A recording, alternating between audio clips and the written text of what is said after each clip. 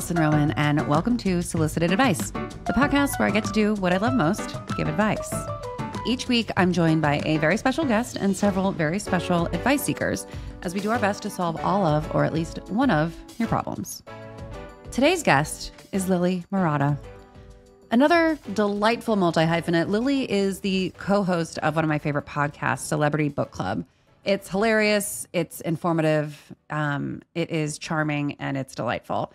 If you are interested in the celebrity memoir genre or just general comedy, I highly, highly recommend it. The Rob Lowe episode is weirdly good, and uh, so is their most recent Arnold Schwarzenegger, which in which Lily does like a very insane and perfect Arnold Schwarzenegger impression? Question mark. Please welcome to the show, Lily. Yeah, I am obviously new. I've been on, I've been like a guest on so many podcasts, but this is my first time like having a podcast and I it's so different and I'm so uh still uncomfortable with it. Well, you're I'm, I'm you're wor- a pro. You look like a pro. I listened to the Yeah, first I- episode. You're a pro. Thank you. That that was like really rough. We also recorded it in like 20 chunks because we had to re- record some stuff. We had like a different caller and I'm wearing a different outfit in each thing. It's like a super cut montage of me doing a podcast and I'm wearing a different outfit in every scene. It's very funny. David's like, uh, I'm going to wear the same shirt for continuity. And I was like, then it makes me look like the asshole. Right. Then you're fully. J Lo, like changing outfits like every hour, which I think you Yeah. should. Like how many yeah, how many looks are you going to have for today's podcast? And frankly, the answer is today is the it's just the one outfit. Yeah, we're we both doing do kind again, of white so. tea, like James Dean, kind of super simple. That's sort of what I think of you when I think of your style icon words. Have you ever played that game where someone asks you to describe your style in three words? no, it sounds like my perfect game though. Yeah. You can play it right now if you want. How Oh. would you it's like you you pick three things that's like it's like quirky, iconic, uh ugh, fitted or whatever. Like you you know, you can like what are the three things? And they can change, Mm. but I find it I find it very difficult to do. I maybe that's because I don't actually have like a definitive style. That's right. I do. Th- I think if you, as though, actually, kind of a little more the femme James Dean, I feel like you do do classic white tee and jeans, Okay. red lip. I'll take that. Yeah, in terms of the red jacket, it's kind of you know Americana. Yeah, style. uh, Yeah. Per the Taylor Swift song. Um yeah, I'm not going to I'm not going to recite the lyrics right now. I just saw Eras, the movie. So, and I was like, I know she's so like middle school camp, but like watching the movie, I was like, this is even more camp talent show, sex appeal. Like everything Yeah. I felt as like 12 year olds being like, wait, let's do a sexy dance with chairs Yeah. and boas. Yeah, but I and I I believe I ate it up. I ate every fucking second of it up. And I now when I hear like the first few bars of like certain songs that come out, especially like the reputation, the, the chair dance Yeah. situation. Are you ready I'm like it? transported. Yeah, I'm transported to where like the first time I saw it, I went to the bathroom in between songs and came back and was like, and it was like the first few bars of it, and I was like walking alone. Right, in like, the stadium, yes. like getting back to Oh my my chair, God, and I was walking with a purpose. I was walking with a je ne sais quoi. I was walking like I was on stage. Well, that's her main never- dance is walking. Yeah, yeah. And now I walk as if I'm a little bit walking like that I hope. Yeah. just like sometimes when I just like when the time and place is appropriate, which is almost never, but we fit it in where we can. Walking foods, kind of just pointing at different ingredients. I do more than that, Lily. Wait, what do you do? Stop pigeonholing me. Stop pigeonholing me into thinking that I only cook. That's why I'm doing this podcast to prove to the world that I'm more than a shopper at the grocery store. I'm like, you do Instacart, right? Well, so I do I do use Fresh Direct a lot because Fresh Direct is not a person shopping at the grocery store for you. Yes. It, Fresh Direct it's coming from a warehouse. It's like more like they have the facility, they're packing their trucks. No, it's farm to table, basically. Yeah.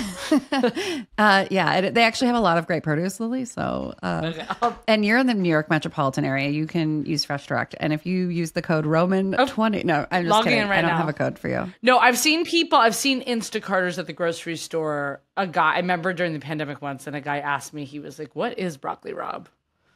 And I was like, But then I was like, Ooh, I actually like this question. And this is why I'm so happy to be on your podcast. It's like, You're like, and we are going to bring it around. Yeah. well, also, well, real quick, my friend yesterday revealed to me that he thought that it was broccoli rabbi. that's funny. He thought it that's how it was pronounced, like up until like four weeks ago, Wow. like a hard E. I was like, okay. Huh. Um, we're we learned so much. And you rethought your whole friendship. Well, also when people mispronounce food words, I feel compelled to correct them, not because I care, but because I don't want them out in the world acting like a fool. I don't want them to be embarrassed in front of somebody else that might not be as generous of spirit as me. know? Right. And that's that's friendship. So I'm like, it's actually, yeah. And I'm like, not that I care. I don't care, but I don't want you to be in the presence of somebody who might care or might make fun of you, might not approach a situation with like the spirit of kindness. It is so crazy when people like really do get like cruel about that. It's just like actually literally who cares? Like isn't it funny? Yeah. I think that's that's very much like youthful energy when you're like, um, it's actually like no one actually corrects a person now like that. It's more just like if you said the if you pronounced a word wrong in the wrong in the wrong company, they wouldn't say anything to you. They would just judge you and then tell their friend that you did that. Yeah. And that's embarrassing. No, it is. So- And it's uh, you know, I mispronounce things all the time. I don't But- think you probably don't. But hardly food. Yeah, that's because you're a real foodie. For those that don't know, Lily is a consummate foodie and um, fan first, friend second. I would say, if I may. Absolutely. no. and- uh, absol- same I'll- for me. Same Yeah. for me. I'll be fan first now. Now, you know, now just friends just shooting the shit about Fresh Direct every day. I know. Wait, which is actually good. Sorry to wrap that up real quick. I really like Fresh Direct because I know what they have, and so when it comes, I under like I know what I'm getting. I could get sponsored by Instacart tomorrow.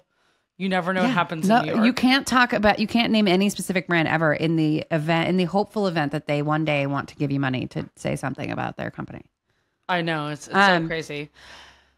but I first I was like you you came into my life through my friends who like were really into your podcast before I had heard it. And they're like oh you would love this podcast. And I they, they cook your recipes all the time and fold it in the conversation. And I was like well I have You're to like, yeah, I heard it before. no no I, no. But uh, these were people that I really trusted. These are people that I think are really funny. So I was like oh this is probably a good podcast. And guess what? They were fucking right. Your podcast is so funny. I I die for it. You flatter. It's one it's one of the funnier things on the internet in case anybody wants to know. Celebrity Book Club. And and just like you don't really even need to know how to read or have an interest in reading because they do all that for you. You and we hardly know how to read too. So that's what's so cool. Yeah. Is like we can I like, remember like last year we were like let's do let's do a book together and you're like here are all the books that we can choose from. And I was like I don't have time to read any of these. so we never did. No, it. you were like, literally no. No, but you were also like, can you do it next week or something? And I was like, well, I certainly can't read a book in a week. What am I? I didn't go to Harvard, Lily. Like, give me a break. no, I feel like growing up near Harvard, not to brag. Um, you know, that it's just the osmosis. I have that the reading just kind of penetrated in there by just kind of, you know, I would walk walk like Harvard campus, like that was kind of my teen stroll to go to the CD store. So I would be like already be like Harvard students, so preppy. I'm actually walking to get CDs. And Did you, um, did you feel pressure to like, did like, was going to Harvard ever a thing that you thought that you had to do or wanted to do or should do? no, really it was never there. Same. yeah. Your parents didn't pressure. They weren't like, oh, we see Harvard. no, God, no. They knew that it wasn't Harvard. They they took one look at me and the word Harvard never popped into their brains. But also, I grew up in LA, and that wasn't like, if anything, it was like UCLA. But that also probably never popped into their brains. I didn't graduate college, so I it was not no Okay, no one yeah no no no yeah I know not to brag. Um, You too can have a podcast if you didn't graduate college. Is Right. So you turns out you don't need to go to an Ivy to have a podcast. no, it's pro- it probably helps. I'm sure a lot of people who did have one, and I'm sure they're very smart. Um, but I'm glad you know we just passed kind of doing a book. I know I've gotten this place where I think now everyone I'm like, oh, do, doesn't everyone just like kind of skim a memoir every week? You can do that, right? Do you ever listen to them instead, or do you always read? Or you? Always I like to do half and half. It depends. Sometimes I totally read. Sometimes you know, along say I'm going on a little weekend trip, you know, to the Poconos, and then you know I'll do all audio. Um, and then but sometimes you mix it up because sometimes the celebrity's voice you want to hear it, and like you got to get that voice on like Sharon Stone.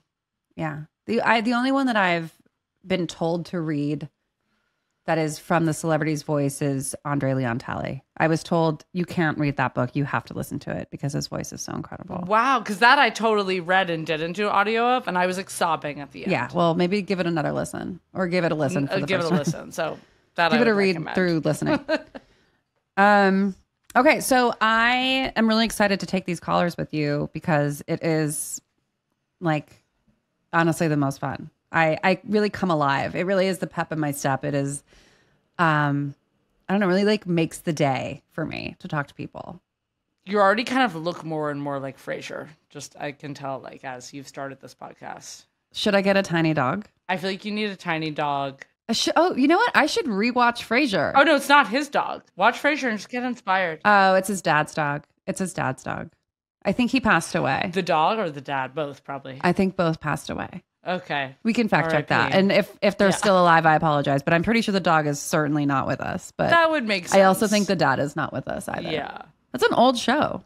it is. And we're dating ourselves. Where I'm like, oh, the dog is still alive. The dog is like 40. Like, The dog is not still alive. And for anybody listening who doesn't understand what we're talking about, um, thank you for listening. You must be very young. Um, okay, so should we should we take some calls? let's jump in. I'm pumped. Should we Frasier? Yeah, Should we use Frasier as a verb from now on? Just generally? right. So you'd be like, this is Doctor Alison Roman. I'm listening. Mm-hmm. Was his show called I'm Listening? I think it was just called Frasier? Frasier. Okay, Frasier was Frasier. No, Fra- no. whatever. I'll look into it. It's obviously been a minute. I can't do shows with laugh tracks anymore. They bring me to a dark place. I can't explain it. Wow. Okay, you're like too punk for it. You need to laugh on your own time. for it. I, yeah. Well, I'm just like, don't tell me what to do.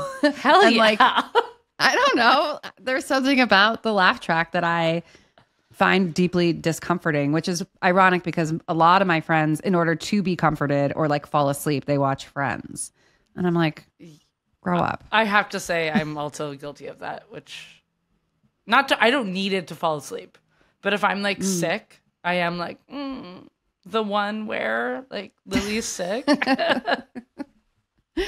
That's it's fair. embarrassing. I do Sex in the City. It's not embarrassing. I mean, You- also that too. So Yeah. We can have it all. Um, okay, cool. Let's take some calls. I'm listening. Okay, so let's take our first caller. And I don't want to pretend to be too surprised, but I am extremely delighted.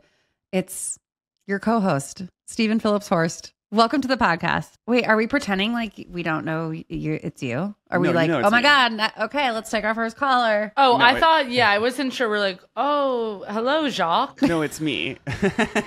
I'm listening. Okay, well, it was like a it's like a real Sophie's choice too. When you're like, there's two people who host a podcast, but we we can really only have one guest, and then it's like, well, how can you really how can you include both people? I and know. I think it's to make one person ask a question. I, agree. I love that you. We can't be split up. We're we're cat. We're like two cats that are bonded in a litter. They're like, no, they have to do the podcast at the same time. No, they have to be adopted together. yeah, they're sisters. Like, they're sisters. Scarlet and Muffles. don't.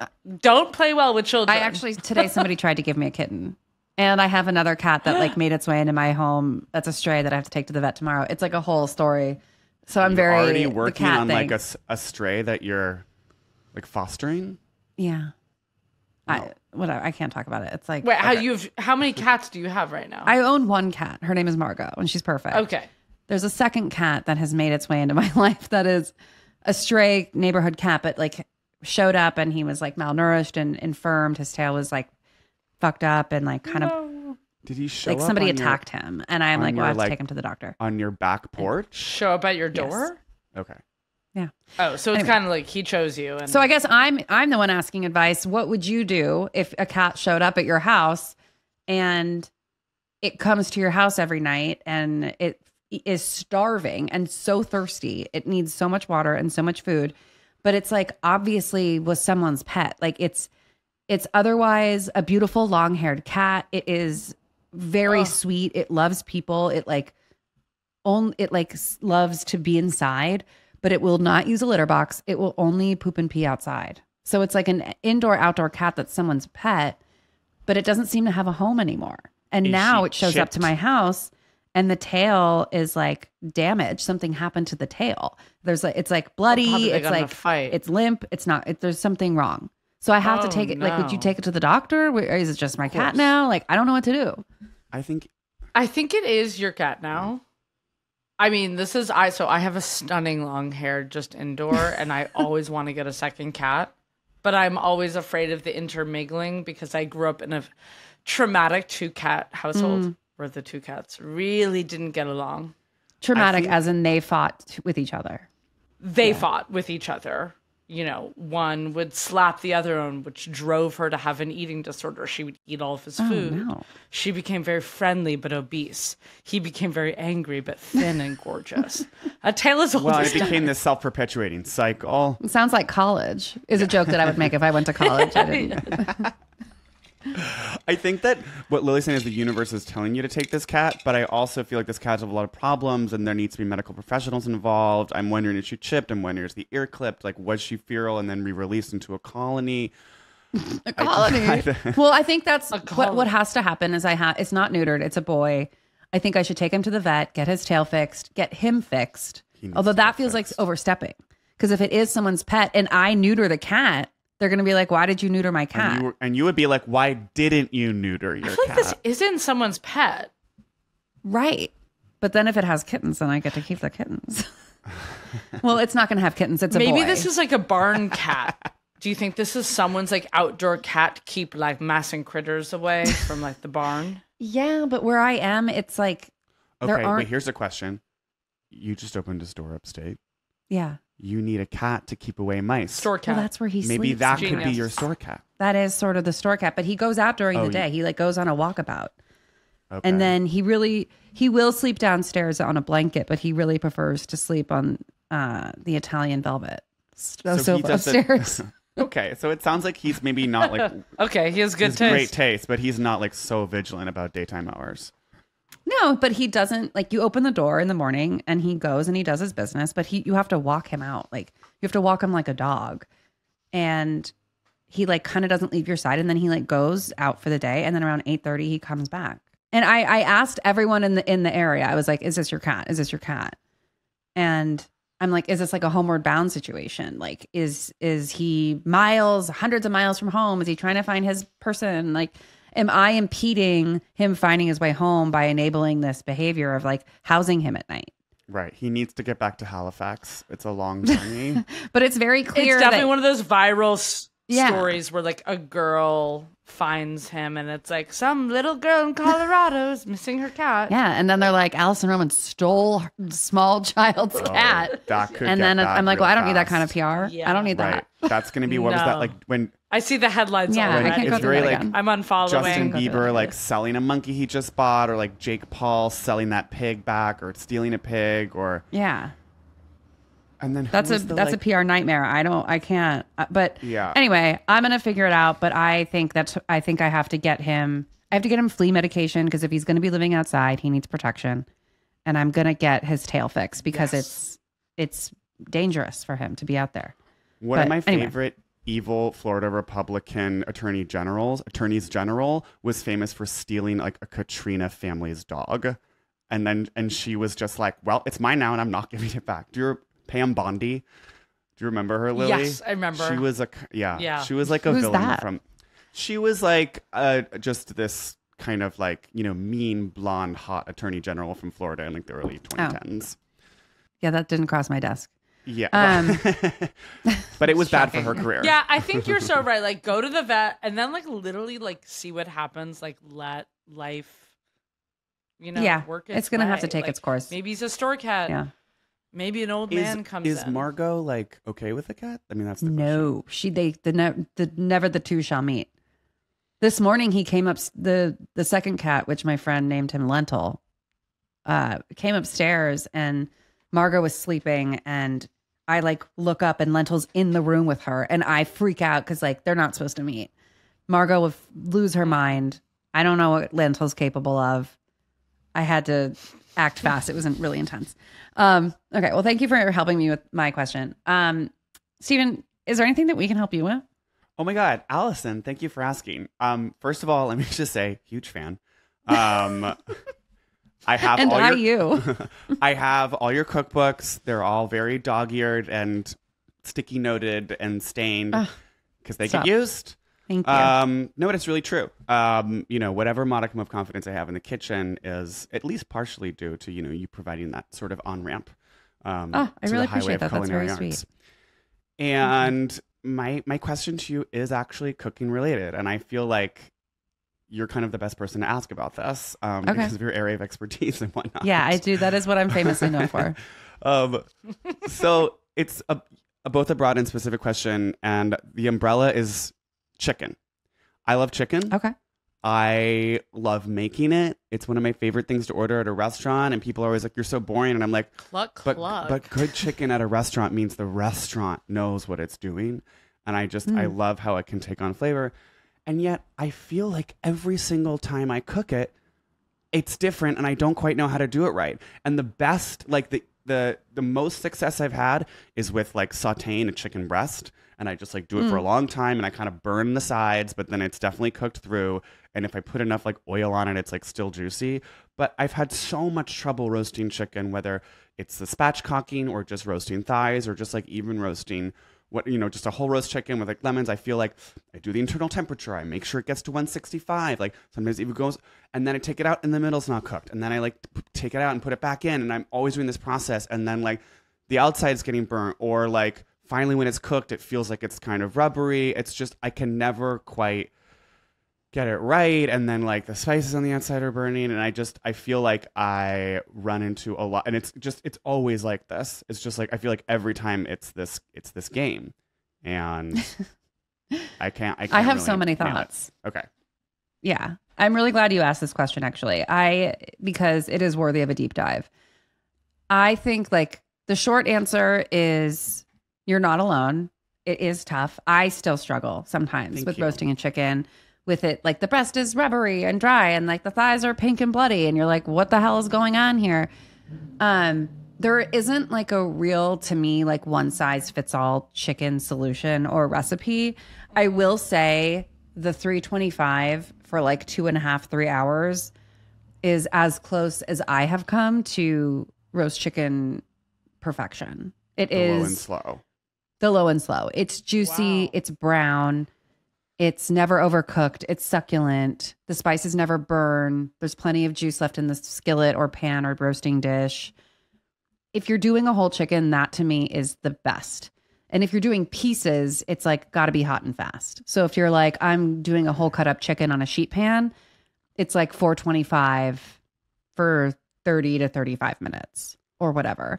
But there's so much other stuff to consider. Like, are there other things in the skillet, baking dish, or pot? Are there, or do those vegetables have moisture? Are they giving sauce? Are they taking up heat? Are they, how big is your chicken? Is it a three and a half pound bird or is it closer to five pounds? Like, there's so much to consider because a three and a half pound chicken is actually like kind of hard to find these days, but it's my preference.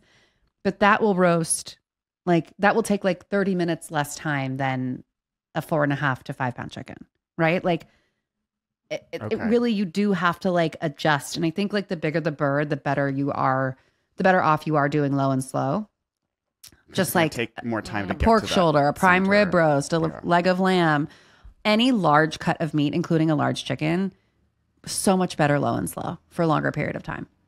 And the thing about the vegetables, wait, so if there's vegetables, they're giving it moisture or they're taking away the moisture?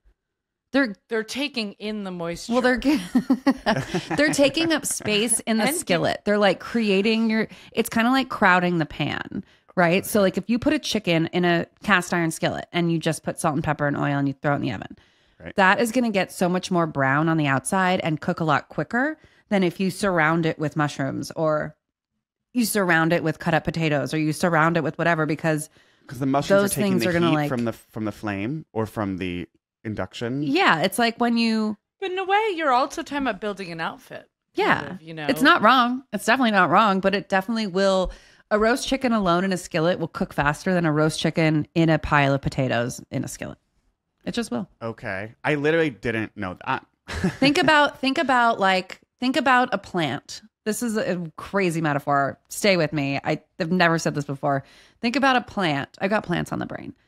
Think about a plant on a patio or in a garden bed, and it's alone, and it's like being in the sun, and you're like, okay. I'm in the sun. I'm alone. Here I am. It's going to get burnt. It's going to get singed. It's going to get thirstier. It's going to get drier. right. You put a plant in a forest of other plants, it's going to thrive. gonna- It's not ever yeah. going to get that brown or burnt. It's going to like, you know what I mean? Like there's protection. The moisture. So like a pot- wet.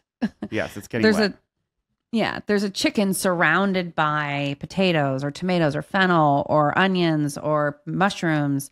It's Mm. just gonna like take a lot longer for everything to get brown and cooked through.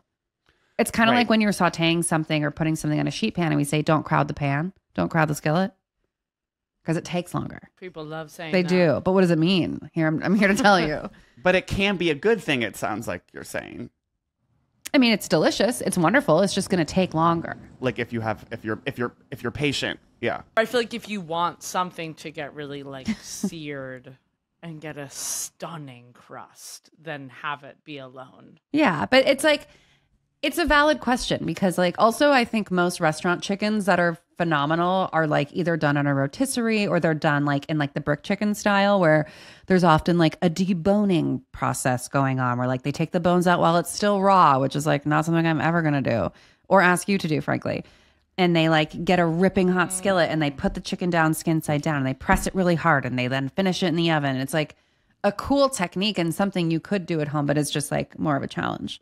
Um, but in terms of like finding a really good roast chicken method, my advice to you, Steven, would be to start with like a simple salt and pepper chicken, roast chicken. Like you could stuff it with some garlic and herbs or whatever, and do one low and slow, do one hot and fast, and just kind of like experiment from there and say, like, wow, I noticed that when I do it this way, here's what happens. And then you can graduate towards like, this time I'm going to add some mushrooms to the skillet, or this time I'm going to rub it with a little paprika and garlic, or this time I'm going to like find which one speaks to you the most in its most pure form.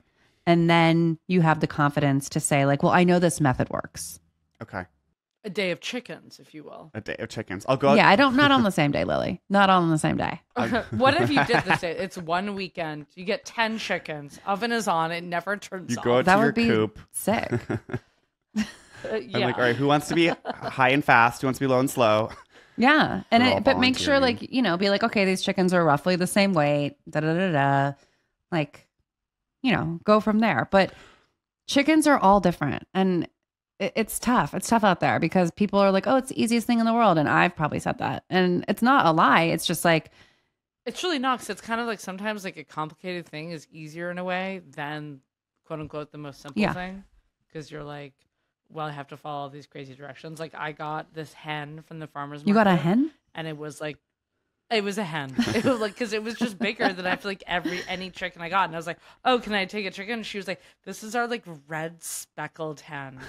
um, and then like it did take so long, and I was I feel like I kept on checking too much, and like maybe I was did actually I did the like hot and fast, and I should have low and slowed. Yeah. The low and slow will, will do you well. And like there's a roast chicken recipe and nothing fancy that's like with tomatoes, l- low and so. That's not spatchcock, it's just a whole bird. And it comes out perfectly every time. It's the it's the cover chicken. Okay, I do know. I think I've done the cover chicken. It was like many years ago, and it was like I did it well, but like maybe sort of my boyfriend at the time was like spearheading the process. No. And then I I'm think glad I you tried. I'm I sure he yeah, and we was. did. Um, and now my boyfriend and I have a much more egalitarian relationship in the kitchen. And but I think I've tried a spatchcock since then and had some difficulty where we were having outside dry, you know, parts rubbery, parts uncooked. Parts uncooked is my new show. But I do mm.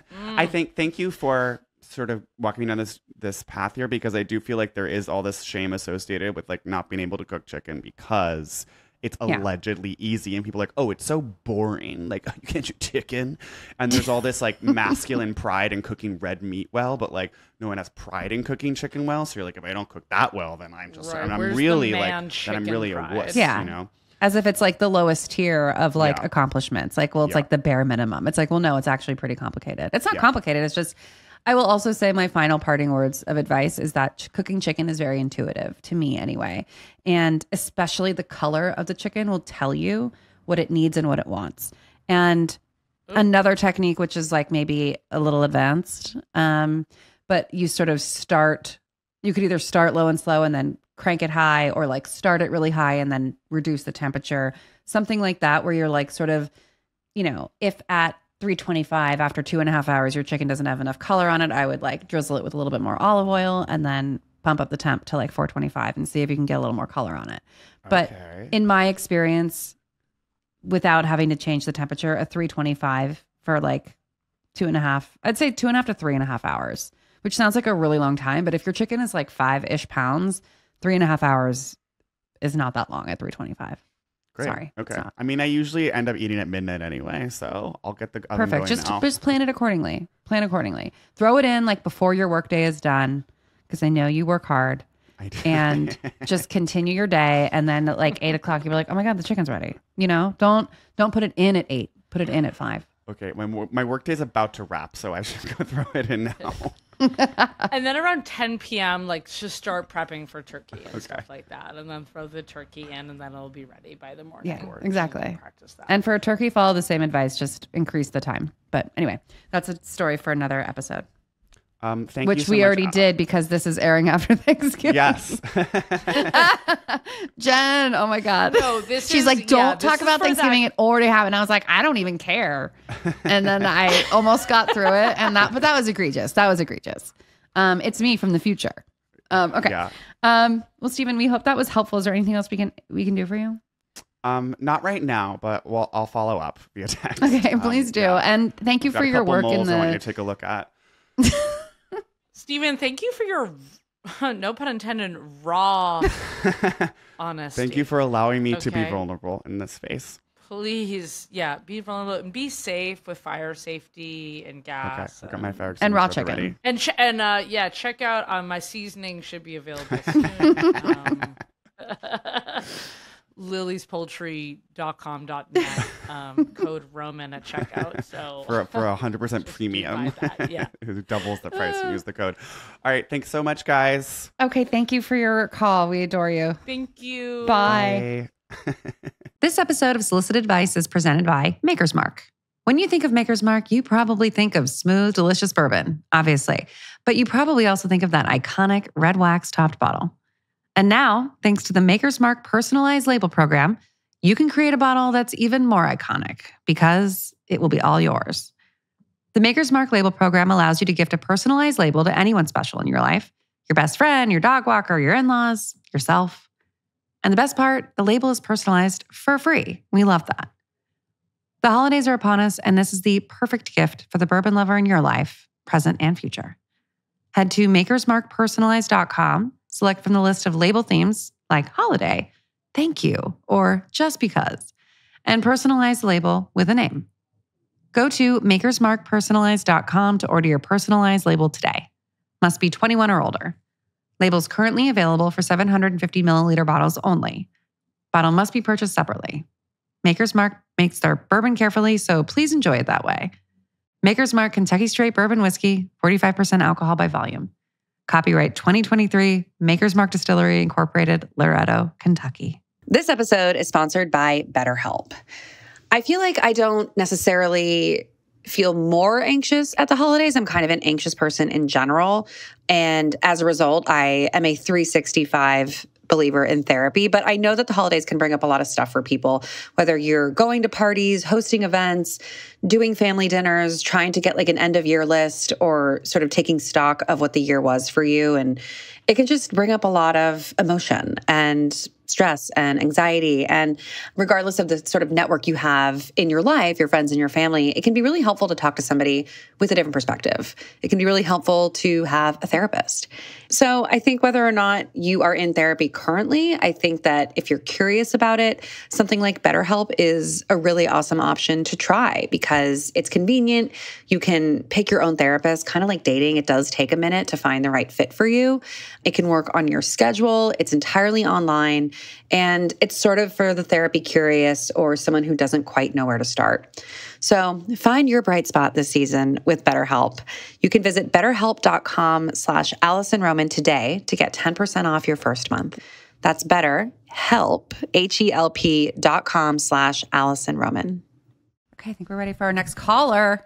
I'm so excited. I am too. I'm adjusting my microphone.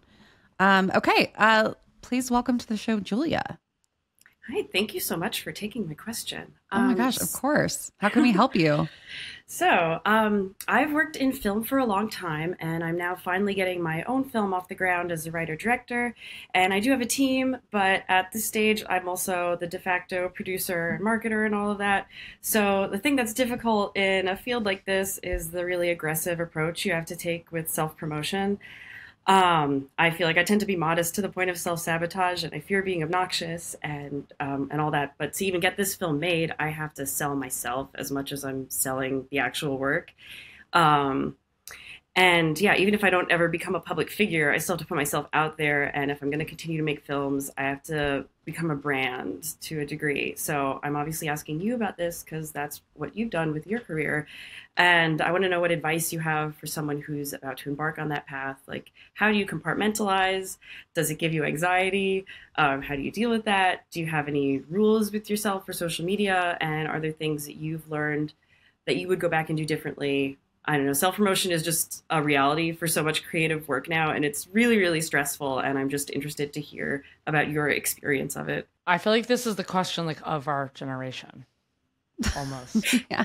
like I ask myself this every day where it's like hmm I feel like I mean one congrats on having a film producing Oh, starring Yeah, huge. directing writing huge but yeah but you're like oh like I always think first just like oh I have to promote this thing I'm selling tickets to a show and then you're like people must be so annoyed by me Yeah. like posting over and over again but then Mhm. I mean I feel like Alison you're great at self promotion I don't feel like I, I these days I feel like not so great at it. But all, the other the other thing is that there's so much stuff on the internet now that like you have to like say the thing that you want to say 40 times for anyone to hear you. yeah And like even though you're like, "Oh my god, I've said this 18 times. uh, People must be so sick." I mean, people are like, "Oh, I didn't know that." And you're like, "How could you not have known that? I've been screaming about it on the internet for weeks." You know, like it doesn't matter. Like we don't see so much because there's so much that is existing now that like I don't know. I've always taken like a pretty strong self-deprecating approach because I also feel very um self-conscious about it and at the same time I also have felt um I felt sad that when I made something that I didn't talk about it enough because I was like burnt out with talking about myself. I felt like I didn't do the work uh, justice. Like I spent so much time making this thing and now that it exists, like I want as many people to listen to it, talk about it, read it, cook from it, whatever. And no one's going to find it on their own. You know, uh, very few people will, but so many more people will find it if you show them what you're talking about. But it is really tough to do it without it also becoming like your entire identity. And I don't know, I sort of like came into it as my career grew. So it wasn't like I had to figure out how to do it in this landscape, which I think is arguably harder. But also kind of easier because everyone does it. So you're kind of like, well, you're kind of like joining the chorus and it doesn't feel as stark. Um and honestly like a lot of it is just like I don't know, but like pretend like you're talking to fewer people and just being like, "Hey, if I'm if I'm writing an email to my friends to like tell them about this thing that I made or this thing that I did, keep it like that in your voice and and whatever it is that you're trying to say rather than be like oh i'm talking to people that i've never met. I don't know if they're going to like it or not. Just kind of assume that you're talking to people that like like you and that you like and Mm-hmm. those people will find you as well you also seem like extremely level headed and like if you're even having these conversations with yourself then chances are you're going to like approach it well but think of it not as promoting yourself but promoting your work and if you care deeply about this thing that you made then give it the best chance of success by telling as many people as you can about it. It doesn't mean you're trying to be like, look at me, look at me. You're just kind of like, look at this, look at this. But the the thing can't speak without you. Yeah, I think that's yeah, that's a good way to compartmentalize it because I feel like there's always like yeah, there's always just the cringe factor that you have to get over. Um, it sucks. But yeah, but at at the same time, I feel like that is all that the internet and like social media is, and that's all that we're taking in. And when I see like people do it, yeah, and I don't think it's obnoxious when I see other people doing it at all. but do you feel like there's pressure from like, who's there pressure from for you to become a brand that you think this has to be the case to be successful? Um, I guess just because it's so like it's so constant and um like I'm in the the fundraising and the fundraising stage for it, so that's particularly obnoxious. Um so yeah, I feel like I just have to be I have to be putting myself out there as much as I'm putting the work out there because there's no real proof of concept yet because we haven't shot. Mm. Um, so I have to say like, this is me. You need to be interested in the the thing that I'm going to make. Um, What is it? I, What I is- can't. what is the movie? Tell us. It t- is- Let's oh. practice. Let's Okay. practice the pitch. so Good it evening, is- sharks. it's um it's a short film called Jeff. It is about a phone sex operator who takes a call from a client who abuses the anonymity of the line to make a series of disturbing confessions. It is based on my real experience as a phone sex operator, um, which was a wild window into the human psyche. But um, there was one call that I took that was just so insane and had such a like a naturally narrative quality to it. I feel like life rarely gives you something with like a beginning, middle, and end very neatly, and this kind of did. So I felt like I had to make it into a film.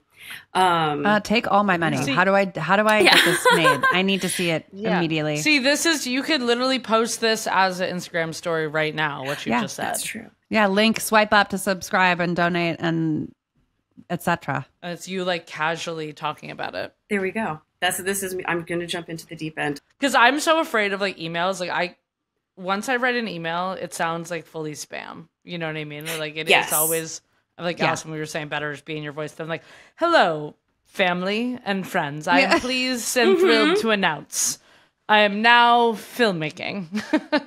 Yeah. Yes, yeah, and which I which I've done in this with like old film school professors and stuff, and just felt like, ugh. But Are you? Yeah. What is your other line? Are you like in the filmmaking industry still now? Like, is this a continuation of something that you've already done, or are you like, this is a new thing for me? Like, where where are you at in that? I no, I've been in film for a long time. I've worked on sets and I taught cinematography at New York Film Academy for a long time. Um, but um, I have two little children right now, so I have a nine to five right now because the hours for film are just not feasible. But um, but yeah, so no, I am experienced, and I've done I like I've worked on professional sets, but that's other people's money and a whole different animal. And like everything I've done for myself has been pretty small or using the resources of New York Film Academy. Mm-hmm. Um, and this is the first time I'm like trying to like do something like professional level on my own. I'm watching. We're gonna Yeah, get this I'm thing watching. made, baby. Yes. Yeah. You, well, you can follow us on at Jeff Short Film on Great, Instagram. at Jeff Short Yeah, Film. at Jeff Short Film, and we're on Seed and Spark. Um, Jeff, like yeah, the, the title of the film is Jeff. We're actually being featured on the front page of Seed and Spark right now. hello. And what is But, that yeah. for? If I know what it is, but Ah. like, what if somebody Ah. else didn't know what it was? I'm just So kidding, I don't Seed, know what it is. you know, Seed and Spark is a Kickstarter for creative projects, primarily film, but not just film. Um, so it's kind of tailored to to people making films. Um, the difference about it is, is like it's all or nothing crowdfunding. So if you don't hit eighty percent of your goal, you don't get anything, which is like really harsh. But at the same time, then fit, like you don't have an underfunded project that's not as good as what you were trying to promise. Yeah. Um, Great. but yeah, so it's uh, seedandspark.com slash fund slash Jeff. Great. Amazing. yeah, we have to at. support the arts. yes. It's very difficult. It's like Mhm. and I think yeah, going going small with the people that you already know and then like the sort of public version of that and just like here's why this should exist in whatever way that you're comfortable. It doesn't have to be overly earnest. It can also be mm-hmm. like again, self-deprecating and like who better to write a short film about a sex a phone sex operator than a f- previous phone sex operator. I'm I'm in. I'm all in. Yeah. Take all my money. Julia, thank you so much. This is like, I feel like we barely scratched the surface of being able to actually answer this question in a broad strokes way, but hopefully Mm-hmm. we helped you with the nitty gritty of your specific question. But like, I feel Oh, like no, this could be an entire podcast. Like, Oh, it, it, it totally could. Especially just with like the thorns of social media in general. That's a whole. It's a whole thing. But yeah, but it's yeah. exhausting But no, and it is it's kind of like a yeah. job. Mhm. And- oh, it, it has become one already, and yeah. I think it's also Yeah. okay to also the, the part, my parting words to you. yeah, um maybe lily you have uh will agree or disagree but i feel like it's also okay to not.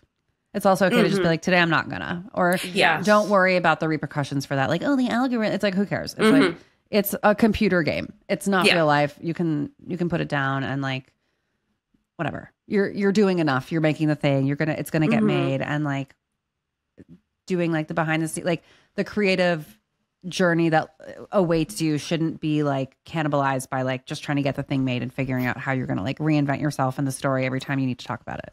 Mhm. Period. yeah. Thank you. Thank you so much for calling, Julia. Thank you so much. that is, it is really tough. And like even Jen and I were talking about it the other day because Jen also has a podcast and it's basically like when especially when awful things are happening in the world, you're like, and here's this funny thing that I did. And you're like, fuck, you're like, am I the worst person? Like, I, I don't know. It's very tough. Yeah. Nothing feels worse than that when you're like, oh, well, I'm supposed to do my like weekly post about my thing I do, but like right now, am I really supposed to post? Yeah. and you're like, brutal. and then you do, and you're like, oh, I'm sick. Yeah, you're like, I feel bad. And then like the alternative is to like I don't I don't post, It's which, and then sometimes that feels so corny to be so like, I'm being silent right now Yeah. about my podcast in honor of lost lives. And it's like, even announcing that and, and saying that is Yeah. worse. And the alternative to that, which is even worse, of saying like I'm making this thing because we have to let like the laughter shine Yes. through or something, and you're like, yeah. no, like this isn't the solution either. So like I don't know what the right approach is. I feel like most everybody I know is struggling with that, but it's like the world at large, daily injustice, tragedy, etc. You're just like, going on. How are you supposed to just be like everything's great? Will you listen, like, and subscribe? Will you You're like, listen? Please, like, like, repost. it's hell. Uh, yeah and and even if that weren't the case i would say that there's something just humiliating about like constantly peddling your wares of like here's this thing i did and i hope that you like it and i'm gonna put it in front of your face until you do like it or at least pretend to like, like i don't know it's i don't know maybe i'm feeling negative about it right now No, I know. You know, you used to think back and you're like, wow, my Instagram was just me, you know, like taking a photo of like a funny sign with a weird filter in 2014. yeah And now it's all it's all flyers. It's promo. It's check out my video, check out this, check out this. yeah i'm like a full i'm a full-time club promoter I started drinking AG1 because as a person who lives their life without much routine, I was feeling like I needed at least one thing to sort of anchor me in terms of like not being able to eat well on the daily or exercise or sleep enough. Basically, you know, take care of myself. And that's because AG1 is a foundational nutritional supplement that supports your body's universal needs like gut optimization, stress management, and immune support. Since 2010, AG1 has led the future of foundational nutrition, continuously refining their formula to create a smarter, better way to elevate your baseline health. So while I feel like it had been advertised to me for quite a while, I didn't give it a shot until two people that I really trusted sort of told me how great it was. And, you know, obviously again, they're not trying to sell me anything and these are my friends. So I was like, okay, this this feels like a good time to give it a shot. And I was really surprised at how different I felt and how much more my sort of like gut health, digestive system seem to be cooperating with me. And that's even after being on the road and sort of not being any sort of routine. And I found it really, really helpful. And I trust it and I, I like it. I've, you know, read the ingredients. I'm like, okay, this makes sense to me. This feels good. If you want to take ownership of your health, it starts with AG1. Try AG1 and get a free one year supply of vitamin D3K2 and five free AG1 travel packs with your first purchase. And honestly, those travel packs are how I mostly consume AG1 because they're pre portioned, they're in these little cute envelopes, and I can like bring them with me wherever. So there's kind of no excuse not to drink it. Go to drinkag1.com slash Roman. That's drinkag1 dot com slash Roman. You may know Shopify from a sort of helpful, handy online point of sale system, but did you know that uh, you can now take that same convenience and do it in real life at a physical retail location? Shopify POS can do everything from accept payments to help manage inventory and basically just unite your in person transactions with your online transactions. The customers, the people working at the store, you, the business owner, like everybody is getting a same streamlined, super easy, effortless experience. You can take payments by smartphone, transform a tablet into a point of sale system, or just use the classic, you know, Shopify POS system. Sign up for a $1 per month trial period at shopify.com slash advice, all lowercase. Go to shopify.com slash advice to take your retail business to the next level today. That's shopify.com slash advice. Yeah, no, yeah, we're DJs. of myself. I'm the club, Yeah. but that is me. I'm Yeah. I'm literally in the Vegas hotels, being like, "Would you like to come to a party tonight? Ladies get in free." Yeah. Except it's a YouTube channel or this podcast. No jerseys allowed. Um, Yeah, 21 plus. Wait, what was your first Instagram post? Do you remember? I don't remember what it was, but it was definitely. If you scroll back long enough, there was definitely like a very moody photo of like a tree at night in Tompkins Square Park. Like that Oh, was the yeah. Nice. And like one was of my cat. you're a nature photographer. Yeah, I'm Ansel Adams. I I was in I was feeling I was like I'm in a this is a moody I'm creating a mood I'm creating a vibe.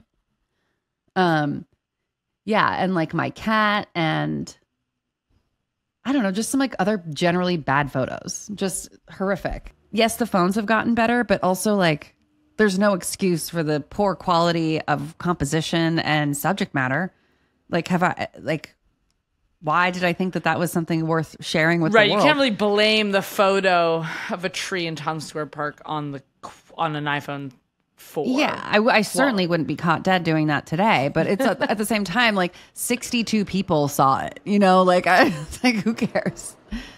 Okay, but I bet you today, if you like went and took like a kind of a moody photo of a tree in Prospect Park and like posted it, it'd be like your most viral post ever. Save it for the stories, though. You know, like stories are. It's fine for the stories. It's Well, not. we, that's what I fine. say because there wasn't stories, so we would use to, all that stuff. Then would be posts, and now Yeah, it's stories. that's true. And it's like, what happened to that confidence? Yeah, I'm like, oh, my coffee cup is steaming. Like that's for the stories. Yeah, Stay for the the, stories. That's not getting on the grid. That's not getting on the grid. Um. Okay, it's time for our uh, most. Well, I don't want to say most fun. This whole thing has been really fun, but our chef's kiss hotline, which I'm so skew excited. primarily uh, cooking related, but Okay. um, can also be other. And I don't know what they are, and I'm excited to get to it. Hey, Alison, this is Todd, Hey, it's Rose. and we're getting ready to bed. And We're calling from Brooklyn. yes, we're calling from Brooklyn. We're off the L stop on Metropolitan. And we love to cook together. And when we're done, we usually put on one of your YouTube videos. And we love your old stuff, your new stuff. Um, Congratulations on getting married. Yeah. We just got married too. Yeah, that's true. And I guess our pressing question is, who cooks for you? Yeah, you cook for your friends, for your crew, for people in your life, for strangers. And um yeah, who makes you the loving chicken cutlets and rotisserie chicken and you know, gorgeous tuna cakes? Tuna cake? No, comma cakes. Okay. Tuna cake. No, Do not make she, that. She makes tuna comma and she has cake. Anyway. Okay. Sorry, we're we're digressing. but congratulations on the launch of the podcast. We can't wait to listen. Bye. Bye. I want what they're having. They're having, yeah. Whatever it is that All they're right. having, I want it. I want mo- I want it injected. I want it in a cup. I want it on a plate. Whatever. I want. I want. I want all of it. I, I think they're going to be married for the rest of their lives yeah. If we could bottle after that, hearing that call. It's like uh, Yeah. that was a beautiful combination of like audible horniness and like intoxication and inebriation and like Dionysian like joie de vivre. Is that kind of did I- this perfect kind of drunk where they're like also i love that like your home videos it's not before they cook it's like after they cook is kind of this like dessert like ooh what could happen next we both looked at each other when they said after we finished dinner and but like whatever works you guys a view is a view and i'm, I'm really happy to have no. you um wow and they were Well- like let's just call alison roman's podcast let's just do it It was one of my favorite questions to date. So first, I want to say congratulations if you're listening. Um, congrats and second, thank you for calling. Um, I would say not that many people cook for me, and I don't say that with sadness. I say that just as a matter of fact because it is. My husband does not cook. He famously does not cook. He cooked me. He made me matzo ball soup when he proposed, and that to me was wow like a huge before or deal after before, and then we and then we ate it, and then we watched a home movies. Just kidding. Um, um, no, he and I was like, wow, like he.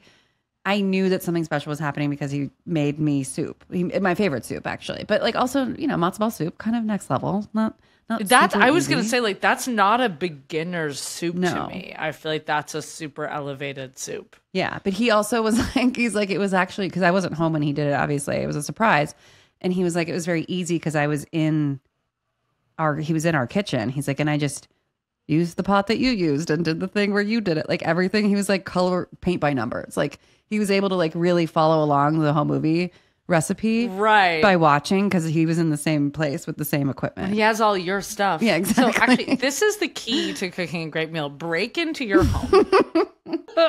Use whatever pot you have. Um, yeah, I'm a Le Creuset girl. Frankly, I'm like a, I'm like Levi's, like Creuset, uh, Ray As I said, you're the you know you're the female James Dean. Hanes. Yeah, I want. I'm like I, classic, iconic brands.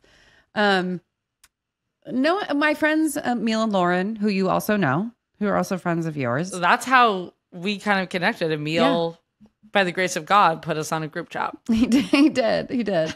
Um, and I'm so grateful to him that he did. But when I visit them, or they, you know, when we lived together during the pandemic, like they cooked for me all the time, or we cooked together. It's more like we cooked together, Okay, which to me friend is cooking. better than being cooked for. Like I love to cook with people.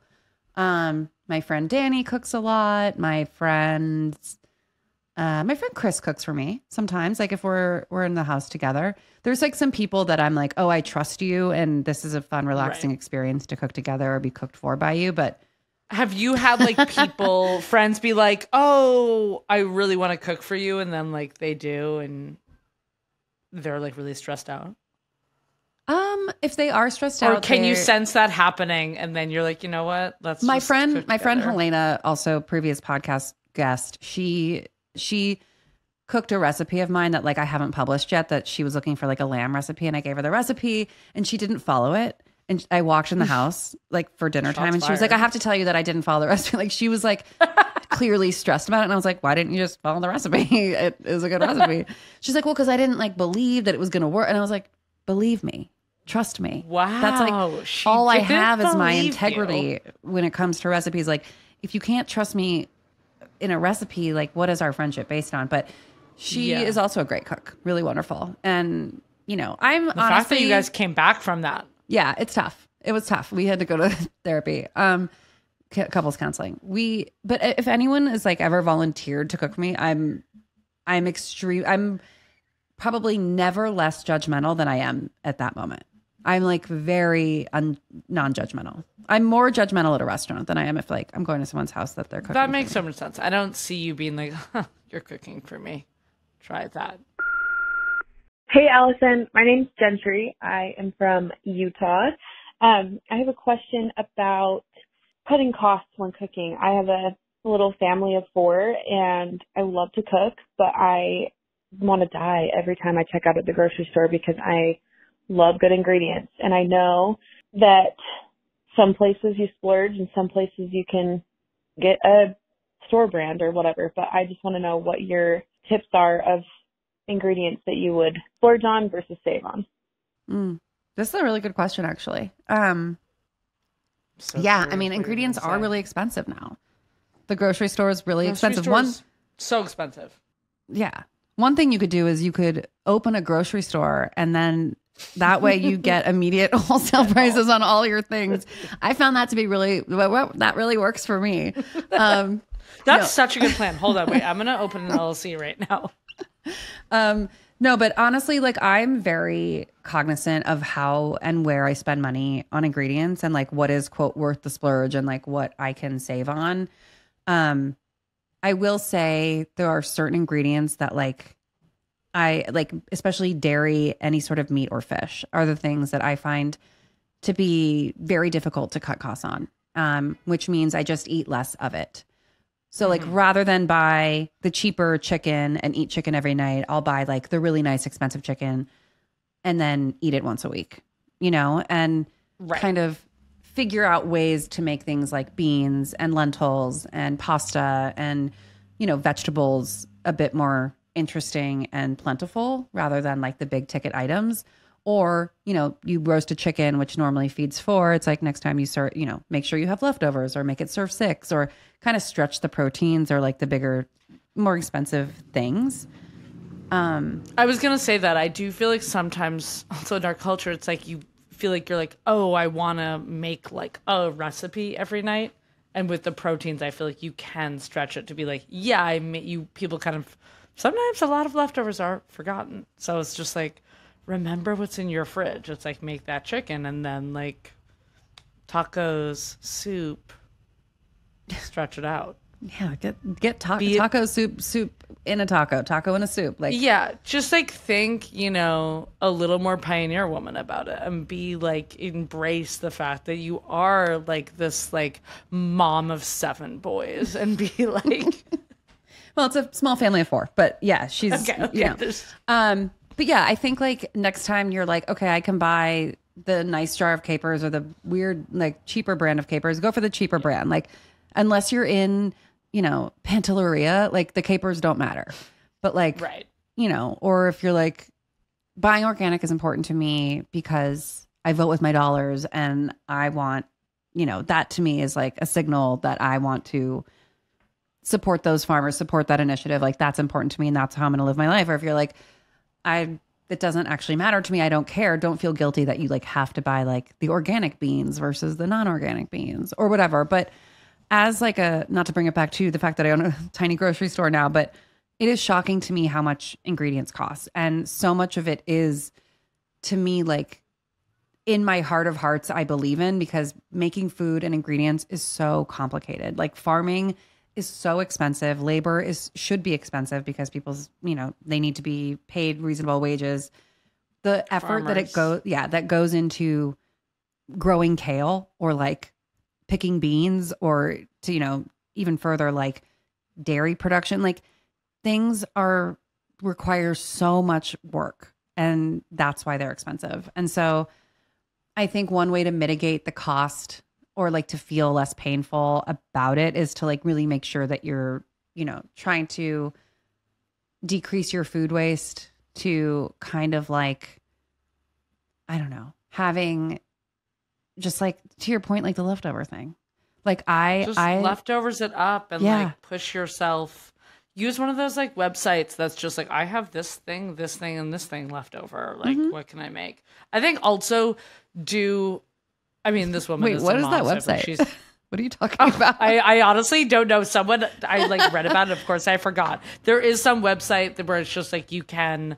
Oh no, you put in like what ingredients you have and what cookbooks you have already own, and it will like tell you what recipes are in there. No, I hate this. I hate that idea. crazy. That sounds scary. That's too, that's like AI. It's a little too, and I've never used it, but I I'm plugging this thing. I have That no freaks me out. More okay. What disregard. If you just heard that, disre- unhear it. I hate it. cut it out, cut it out. Okay, is the mental jump? I do this where I'm like go and I'm like, oh my god, I can't believe I'm buying this chicken for twenty four dollars, and then like will not think for a split second about God, buying a seventeen dollar just- glass of wine at a bar. Sorry, ladybug. get stung? No, it's not a real ladybug. It's like a beetle. Whatever. Um, if you're looking at the video, you saw it, but if you're only hearing it, you did not see it. Um, yeah. Anyway, it's it's very difficult, but I also think like reframing that like food is a luxury. It should be a luxury. It's gonna cost money because things require a lot of labor and resources and water and take a toll on our environment and like it's it's a pretty intense industry. So I think, you know, supplementing your your more your beet, your meat, your protein, your fish, your dairy with things like vegetables, beans, um, lower cost, high protein, delicious things, you'll find it to be like less overall expensive, but also the more that we as a population can accept the fact that like if you want to eat a nice steak, it's going to cost you, and it's like it's gonna be expensive. and you know what? And that's okay. Just don't do it as often or tr- or treat it like a real special occasion. Hi, my name is Noelle. I'm from Toronto. I'm actually looking for your favorite recipes to batch cook and freeze. So my 21 month old daughter Bowie has a really severe sesame allergy and we can't let her get picky because almost everything in life has sesame. So she gets served things with turmeric and chili flakes and curry and we're constantly working to expand her palate. And we've also have to send her food to daycare because of her allergy. Um, the good thing is she'll pretty much eat anything, including other babies' mother's breast milk, which is a whole other story involving Toronto Public Health. Um, because we have zero time to prepare dinner between when we get home from work and when we do daycare pickup, we have to batch cook meals and then defrost them. So we've uh, frozen your lasagna, your chickpea curry, your tomato shallot sauce, all of that, and we make things from your cookbook and your YouTube and your newsletter. And she really liked the carrot cake. So my question is, what are your favorite sesame-free things to batch cook and then freeze? Thanks so much. Bye. According to our producer Jen, we've gotten a lot of questions about batch cooking and what are like the best meals to batch cook and then freeze. Um, this specific one is related to sesame allergy, which I didn't. She said that there's sesame in everything. I didn't know that. I was yeah, neither did I. I was like, well, that's easy. Every food doesn't have sesame unless you're I was like, making, well, it only has it if you sesame put it in there, but I guess that's not true. Um, I'm also this relates because I'm also about to. My friend just had twins, and I was gonna make her some stuff to say it with me, batch freeze. uh, BF. Um, Yeah, it's a BF lifestyle up. over here. Um, I would say like anything. I buy those uh like quart containers from restaurant supply stores, um, or Jeff Bezos's warehouse, and they're great for making like soups, stews, stocks, broths in, and like quarting them up and then freezing them because you can make like a big batch of like tomato lentil soup or chickpea stew or harissa and bean stew or split pea soup or frizzle frizzle dilly bean stew, whatever. Like all those things freeze so beautifully. Um, the only things that I sort of avoid freezing are when there are like big leafy greens in something. So like if you're making chickpea stew and there's kale added at the end, make the stew without the greens and then freeze it. And then when you defrost, add the greens. And that's like maybe not as convenient. And frankly, if you added the kale and then froze it, it's fine. But you just changed my entire afternoon yeah. of what I was gonna do. what were you gonna do? I was gonna do like a Portuguese sausage, kale, bean soup. Yeah, and you can still.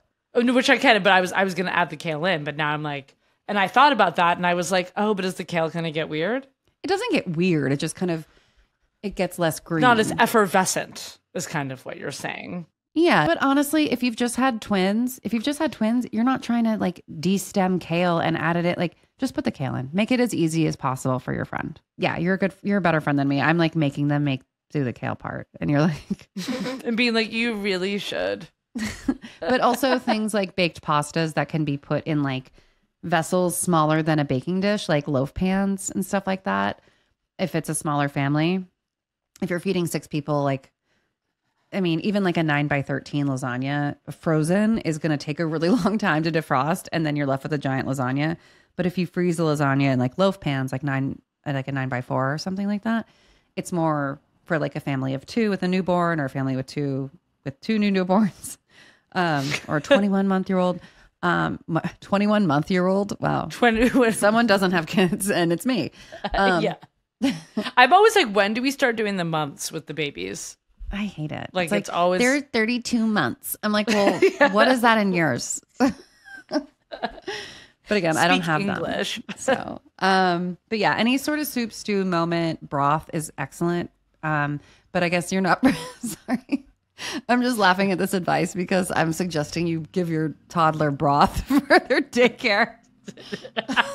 You're like, yeah, so um just do a low medium heat, use a Le Creuset. Worst advice I've Or, like, ever given. this tiny toddler going with their like brodo bone broth to daycare, being like, I actually got the lamb today. It's a it's an Alison Roman recipe. Can you grate the garlic in fresh at the end? Thanks. Um, wow. Okay. So I guess if you're talking really earnest advice, like for the toddler, batch meal for that that you can freeze. Wait, do toddlers have a microwave at daycare?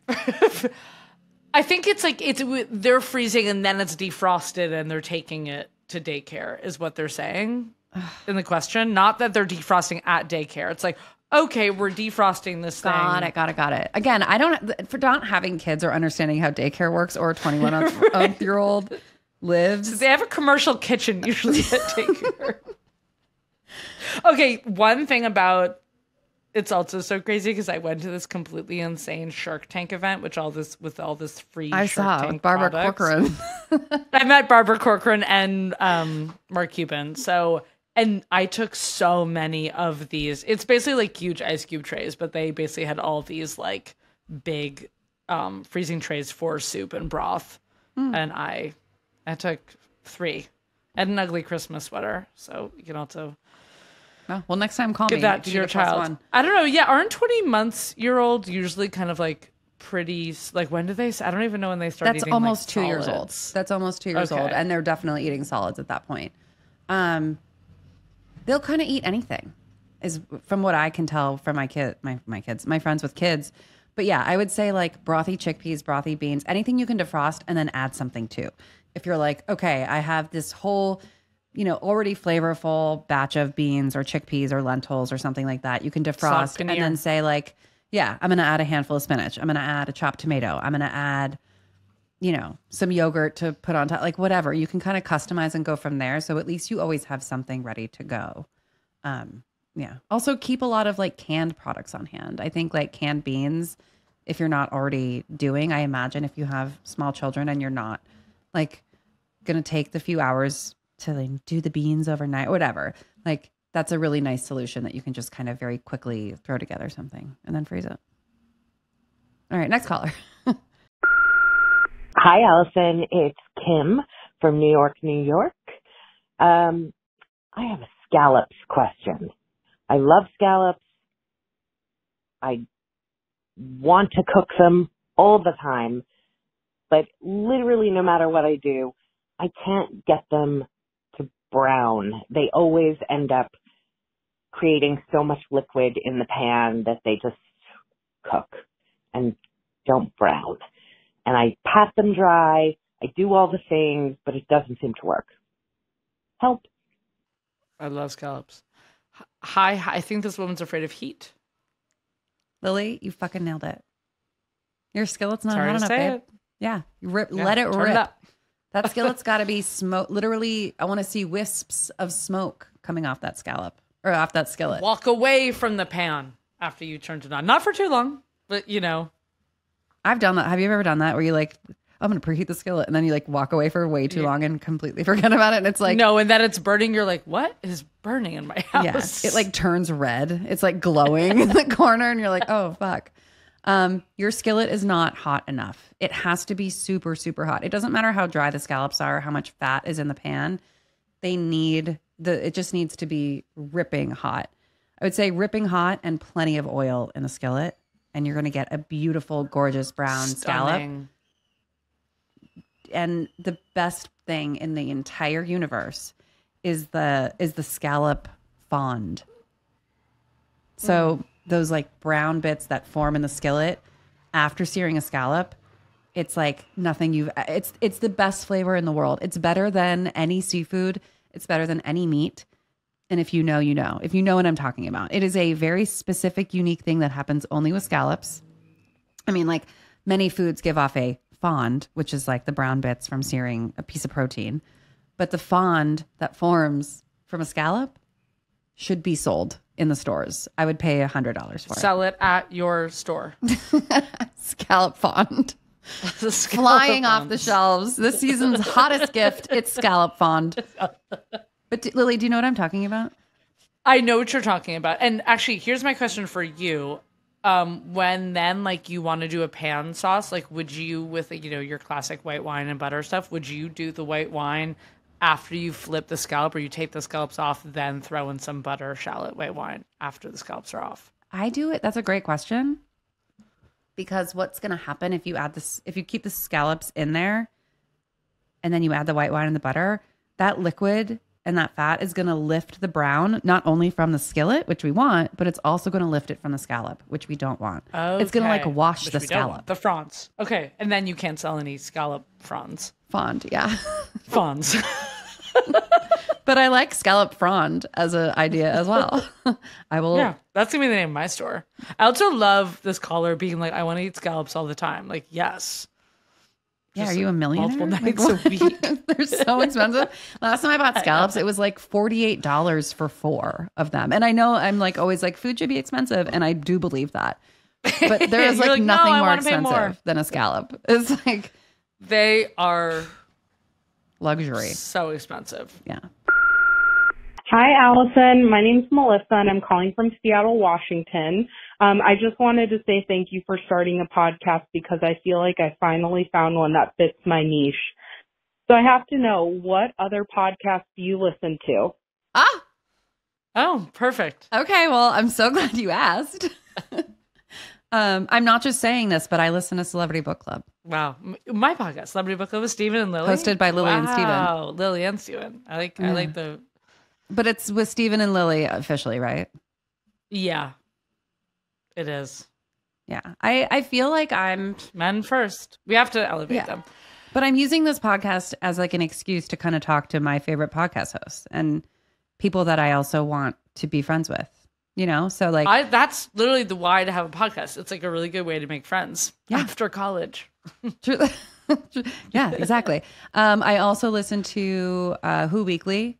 I listen to Stradio Lab. Love. I listen to Las Culturistas. Love. Las Culturistas. Um, I listen to uh, I listen to NPR every morning. That's not really a podcast. That's really more of a news news program. Um, Okay, I listen to Talk Easy with Sam Fragoso. Um, what else do I listen to? I listen to um, Search Engine with PJ. I think that's a really good podcast. I've never heard of that. Should I listen? And You should. It's like um it's like a it's a very very produced podcast in that like it's like a deep dive on a single subject or a question. Um okay. But similar to this show, I suppose they answer a question, but those questions are more like you know, is it okay to drink the coffee on an airplane or why are diamonds so expensive or why doesn't Netflix tell Truly you the how many things we all views want that to know. Yeah, exactly, but it's like well reported and interesting and it's well done. All great options. I yeah. okay. Speaking of that, I'm always playing this podcast of it's called Business Wars, and it does like deep dive on brands or two different business who have wars. It'll be like Zara versus H and M, or like Wait, this is your idea for a podcast? No, no, no, no. This is a podcast I'm plugging that I. Oh, okay. I was going to ask you. Yeah, what are your favorite? What are your favorite podcasts? Um, this podcast, Solicited Advice with Alison Roman, I find it so informative and like funny and just like really approachable. And Oh, like you're like, oh, you're my best friend, but like I'm also learning so much. Um, okay, this Business Wars, which is basically yeah, it's like a sort of like ESPN versus like Sports Center. I don't know. They do a deep dive onto like a crazy business war. Um, I'm Is it like- obsessed with. Is it like a history of their beef or like what's or is it just yeah, like, a history okay. of their beef with like interviews. Got it. Um, Love Stradio Lab. Love. I, I was just on this podcast and I love it so much. Exploration Live um, Hmm. with Charlie Bardley and Natalie. I forget her name. Anyway, I thought that was funny, and I love those two Southern women. It's like the number one podcast in America. They don't need my plug, but you, I've had it, and it's those like two Southern women, and they're just like, I've had it with children's birthday parties. Wait, it's called I've Had It? Yeah, And it's them complaining about stuff? yeah, and they're like God damn, I wish that that was my podcast. and they're like number one. They're like the Ugh. female. Yeah, that sounds good. I want to listen to that and I want to be on it. you should be on it. And I'm loving Kristin Cavallari's new podcast. Let's be honest, which you should also be on. What is it called? Let's be honest. Oh, I, th- I thought you were saying like, let's be honest. I love her podcast, but her podcast is called Let's Be Honest. no, let's be honest. Is called her. Yeah, I love it. I, I, I, you know, I love, I love a microphone. What can I say? We could go on. We could keep on going on. I know, but we won't. But um, Number one pod. My favorite is this device. and mine is Celebrity Book Club with Steven and Lily. We have such Um, brave taste. I uh, well, Lily, thank you so much for being on this podcast. Thank you so much for being my friend. Thank you so much for your amazing advice. Thank you so much for having me on for making my for my foodie dreams come true.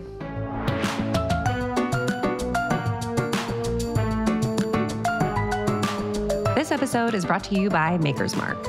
Solicited Advice is hosted by me, Alison Roman. Our podcast is produced by Jennifer Sullivan with the help of Elena Rodriguez Villa. Technical production and editing is handled by Redd Rock Music, and our theme music was created by Joseph Monroe. And for questions, sponsorship inquiries, or anything else, please visit us at alisoneroman.com slash podcast.